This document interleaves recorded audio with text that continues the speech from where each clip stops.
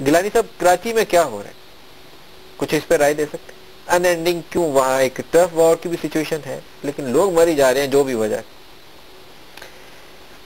یعنی یہ میرا دارہ کار نہیں ہے کہ میں یہ بتا سکوں۔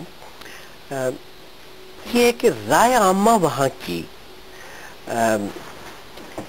اس میں کوئی شبہ نہیں ہے کہ اکثریت ایم کیو ایم کے ساتھ ہے وہ تو سیٹیں جیتے ہیں نظر آتا ہے کہ ایم کیو ایم جیتی ہے وہاں اس لیے اگر کوئی سوچ بچار کا آغاز اس سے کرتا ہے کہ یہ کوئی دھاندلی سے ایم کیو ایم جیت گئی ہے تو میرا خیال ہے کہ کسی درست نتیجے پہ نہیں پہنچ سکے۔ یہ امپورٹنٹ ہے کہ ایم کیو ایم نے وہاں سے ووٹ لیے ہیں چاہے کچھ کسی کی شکایت ہے بھی پھر بھی لیکن اکثریت رایامہ کی ان کے ساتھ ہے۔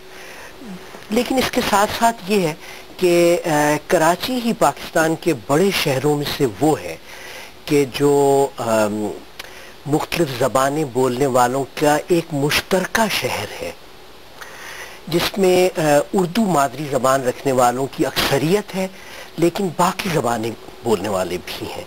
اور یہ باقی زبانیں بولنے والے وہاں وقت کے ساتھ، وقت کے ساتھ زیادہ تر کام کرنے کی غرضیں آئے ہیں۔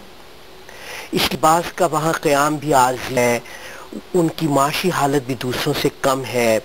ان کے رہنے سہنے کے علاقے جو ہیں، وہ بھی فرق ہیں اور اس کے نتیجے میں وہاں پچھلے بیس، پچیس، تیس سال میں مختلف نوعیت کے جھگڑے، فساد، ان کے لیے ماحول سازگار رہا ہے۔ اب ماحول اگر سازگار ہو، جب بھی اگر قانون کی حکومت ہو، تو اس پہ قابو پایا جا سکتا ہے۔ لیکن چونکہ قانون کی حکومت نہیں رہی تو کراچی کے اس مخصوص مزاج کی وجہ سے یہ قتل و غارت وہاں جاری رہی ہے۔ اچھا آپ کی رپورٹ میں دیکھ رہا تھا وہ آج کل پاکستان کے حوالے سے ایک انٹرنیشنل میڈیا بڑا آسانی سے ایک وہ فیلڈ سٹیٹ کا ٹھپا لگاتا ہے۔ تو یہ جو ہمارے انتخابی نتائج ہیں یا جو چوائسز ہیں لوگوں کی جو انہوں نے فیصلہ کیا اس میں کیا چیز نظر آتی ہے؟ جس کو ووٹ آؤٹ کیا یا جس کو لیے انہوں نے انتخاب کیا کیا ہم واقعی ابھی بھی اسی ایک فریکچرڈ سوسائٹی فیلڈ سٹیٹ کی تصویر پیش کرتے ہیں یا کچھ اور ہے یہ؟ میری رائے یہ ہے کہ یہ گورننس فیلڈ ہے، جیسے کراچی میں۔ یہ گورننس کا فیلئر ہے۔ سوسائٹی کا فیلئر نہیں ہے۔ اگر ہم پورے پاکستان کو دیکھیں تو دراصل یہ ایک نسبتاً مضبوط سوسائٹی ہے کہ جس نے فیلڈ گورننس کے مسئلے کو پہچان کے اپنے آپ کو تبدیل کیا ہے۔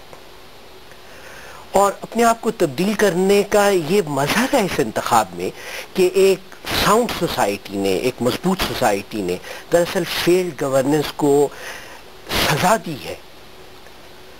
تو چنانچہ وہ تمام لوگ کے جو حکومت میں تھے انتخابات نے انہیں حکومت سے باہر کر دیا ہے۔ لیکن کیسے ہوا جو اچھی گورننس نہیں دے سکے لوگوں نے ان کو ووٹ آؤٹ کر دیا۔ انہوں نے ووٹ آؤٹ کر دیا ہے۔